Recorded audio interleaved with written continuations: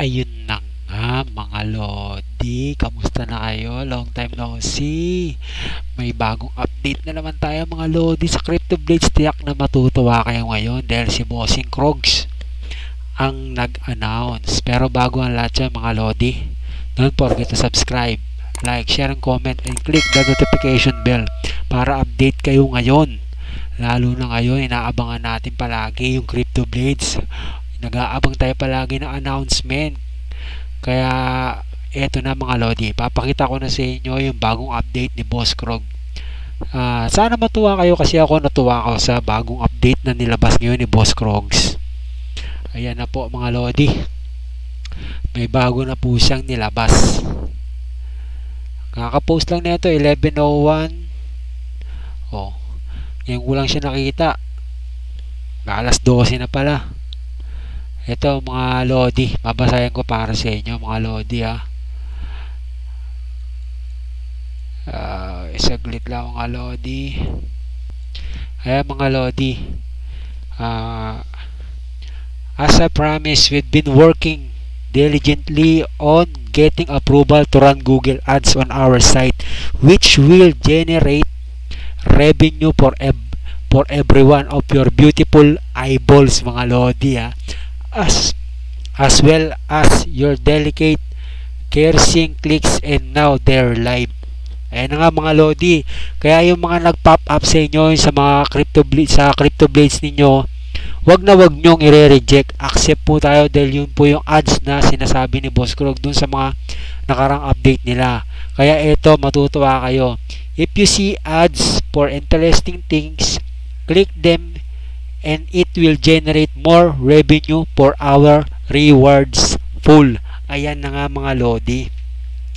Sana eh, nalalapit na to. Kasi ako hanggang ngayon, di, di na ako pumapalo simula nung nag-claim ako ng XP sa karakter ko. Never na akong pumalo. Siguro almost 4 days na akong di pumapalo yata. Kasi na-claim ko naman mga level 45 ng mga karakter ko. Ayan mga Lodi, continue natin ha. We are also working on additional sponsor sponsorship where reputable reputable companies in the crypto space can offer our users some really awesome deals and incentives which will further serve, serve to add more rewards to our pool. So stay tuned for that. Ayan na nga mga lodi. Magantay lang tayo. Darating din tayo sa inaantay natin mga lodi ito na yung susunod mga Lodi. This bring us one very important step closer to being able to sustain our large player base something that no other game project can accomplish without a multi-tiered multi-tiered revenue stream plan like we have. Ayan na nga mga Lodi. Ayan pa nga. Let's keep going. Love you all. Ayan na nga mga Lodi. Release the ads. Mga Lodi ko nakikita nyo quick video lang to kasi uh, update ko lang din kayo dun sa mga hindi naka-join naka join sa Crypto Blades na Discord. Sana natuwa kayo kasi mga lodi ako natutuwa ako. Sana eh, malapit-lapit na. Matagal-tagal na tayo nagtitiis nag-aantay sa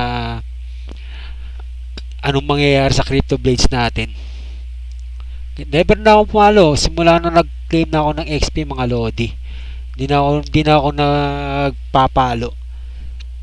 Ayan, kung nakikita nyo mga Lodi. Di na ako mapalo 45, 44, 42. Ayan yung unang account ko. Tatlo yung account natin dito mga Lodi. Tatlo. Tatlo yan. Ayan na mga Lodi. Quick update, quick video lang para sa inyo. Update ko lang kayo para kay Bossing Krogs. Nagparamdam na siya. Dahil may sakit to.